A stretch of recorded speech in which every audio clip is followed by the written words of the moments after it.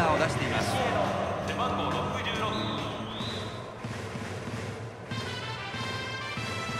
一塁牽制球。セーフ。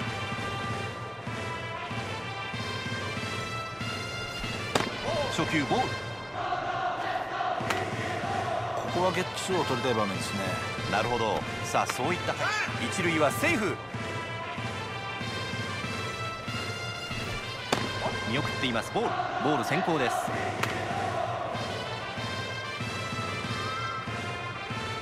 しつこく牽制を入れます。セーフ。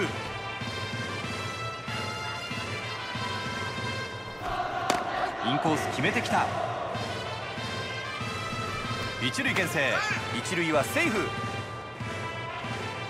さあ4球目は何か。打ちましたヒットになったファーストランナーセカンド回って三塁に向かう。チャンスを広げていきます。ランナー三塁一塁となりました。さあそしてバッターボックスには細川が入っています。さあ1打数ランナースタート。キャッチャー二塁送球する。3番バッタービシエド。今日は盗塁を決めています。ワンアウトランナーなし。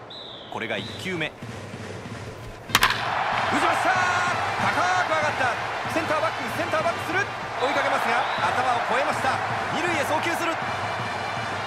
バッターランナーは二塁到達。これでマルチヒット。